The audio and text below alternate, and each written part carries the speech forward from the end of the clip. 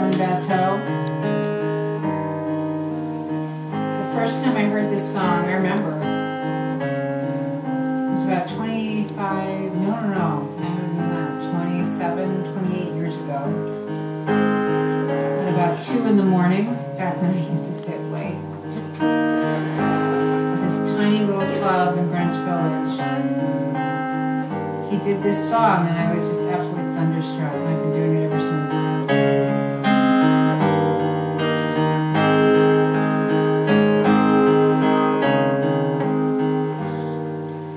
Guinevere in